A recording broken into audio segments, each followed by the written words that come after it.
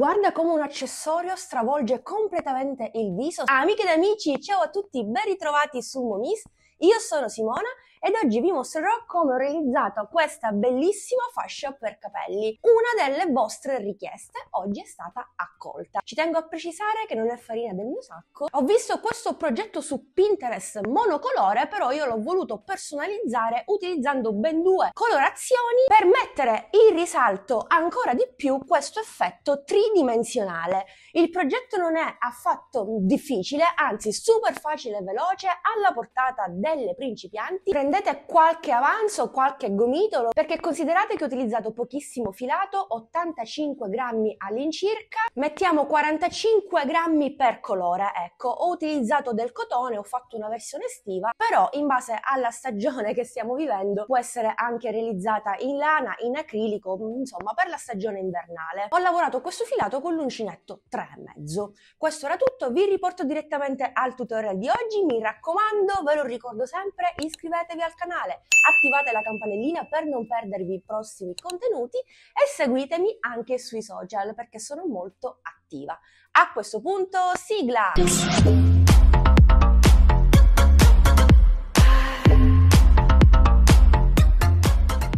Faccio un cappio e avvio 102 catenelle che corrispondono nel mio caso a 52 cm ma potete spingervi anche a 57 cm perché poi vedrete che la lavorazione verrà tra virgolette intrecciata e quindi un po' di centimetri li perdiamo.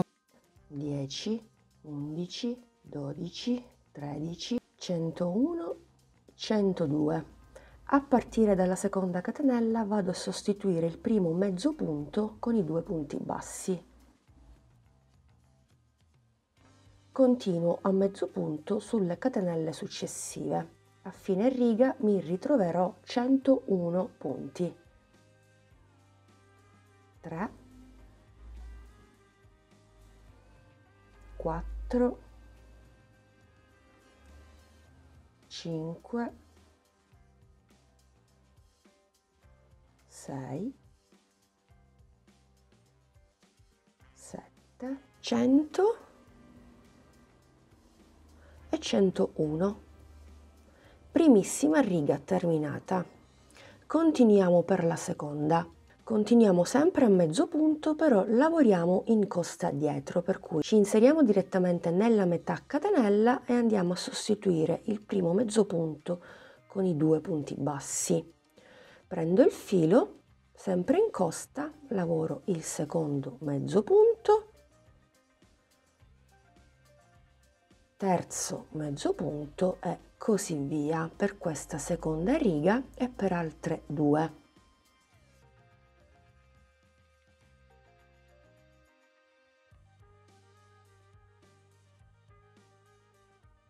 Terminate le quattro righe procedo per la quinta dove andrò a lavorare. 18 mezzi punti.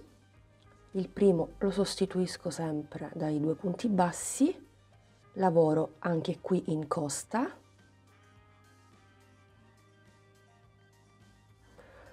Uno, due, tre, diciassettesimo punto, diciottesimo ed ultimo punto.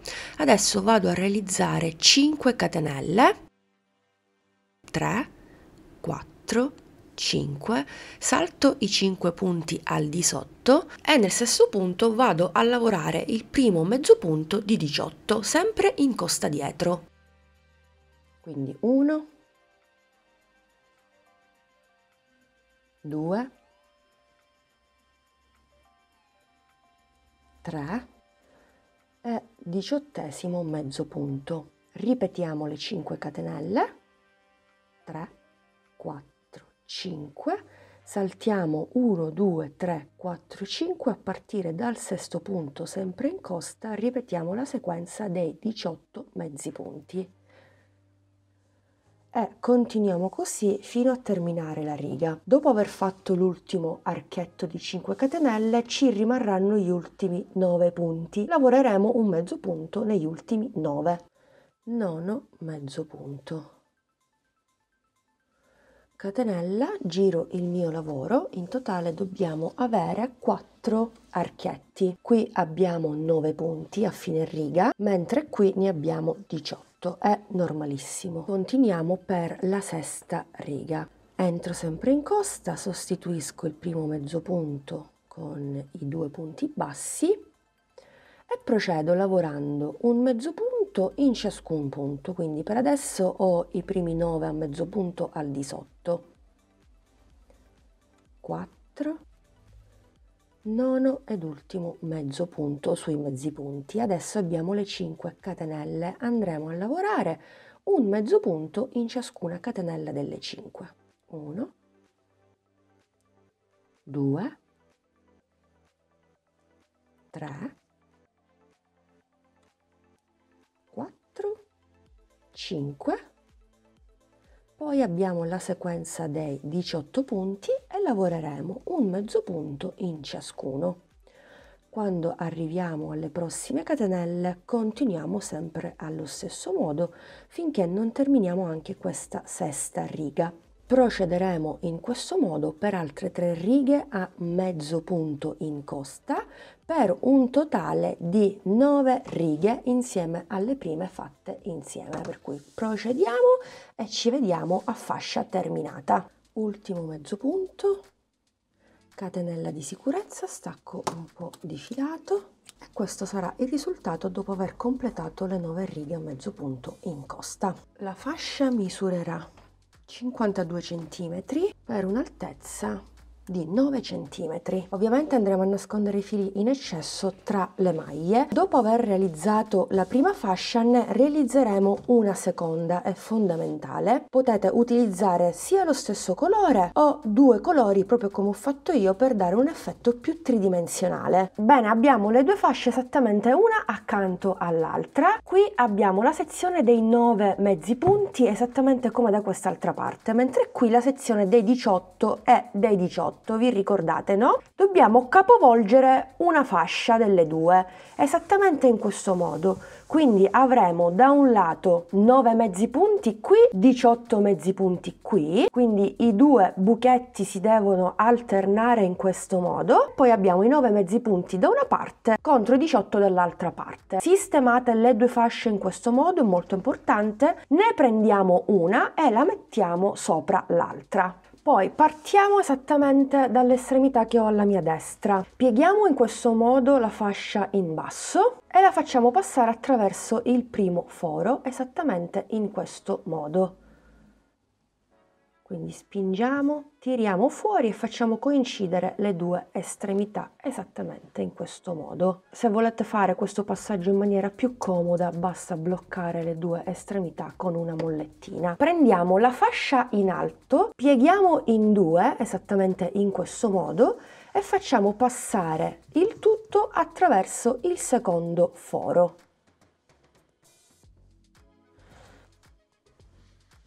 Tiriamo, tiriamo, tiriamo, ok? E ci fermiamo non appena le due estremità coincidono e sistemiamo per bene in questo modo. È davvero semplicissimo. Ripetiamo la stessa operazione, quindi prendiamo la fascia al di sopra, pieghiamo in due e facciamo passare il tutto attraverso il foro successivo, il terzo. Quindi mm, nel mio caso la colorazione più chiara passa al di sotto e viceversa avrò questo gioco di colori. Ok, mi fermo non appena raggiungo l'altra estremità. Pian pianino possiamo sistemare per bene. Prendo la fascia sopra, piego e ripeto questa sequenza finché non faccio passare le fasce attraverso tutti i fori. Ripeto,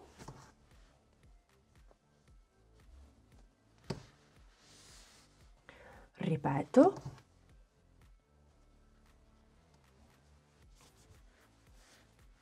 Ripeto.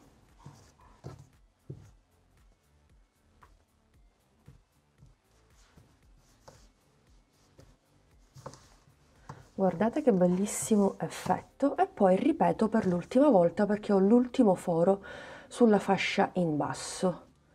E voilà quindi facciamo coincidere anche le due estremità Adesso ci occorrerà un elastico, io ho questo grande ma anche questo piccolino. Utilizzerò l'elastico più piccolo e lo andremo a fissare direttamente tra le due fasce, è davvero semplicissimo. Facciamo passare attraverso l'elastico una delle due estremità proprio in questo modo, poi prendiamo lo stesso filato di lavorazione, un ago ed entriamo tra i punti a zig zag.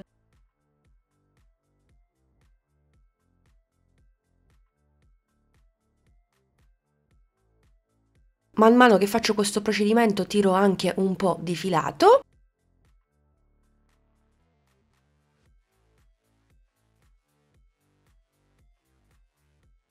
e ripeto la stessa operazione sull'altra fascia. Entro a zig zag senza fare troppi calcoli, senza essere troppo precisi, non è necessario perché poi vedrete che nemmeno la cucitura si vedrà.